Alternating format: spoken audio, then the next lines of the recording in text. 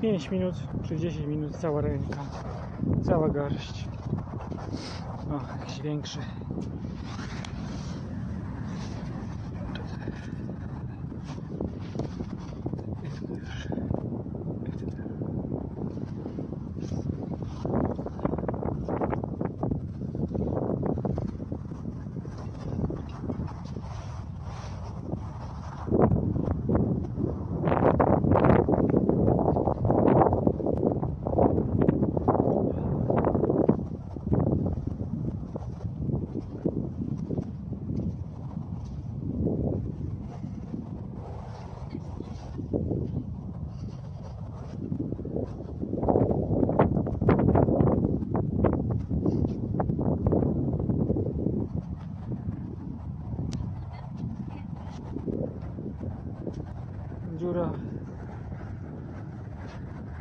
Pogłębianiu pompiarzy przeszukują w ten sposób bursztynu, poszukują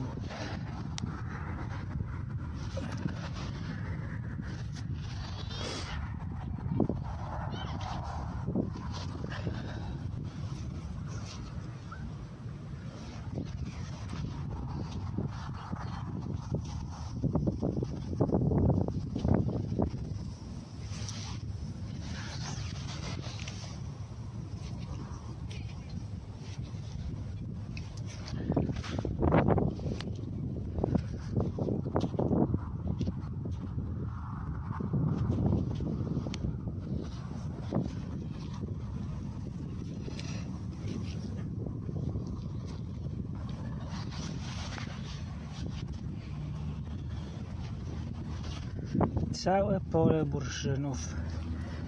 Miliony.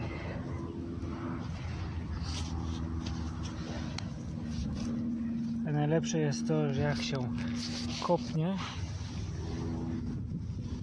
to tam też jest pełno burszynów tylko w mokrym piachu tego nie widać tak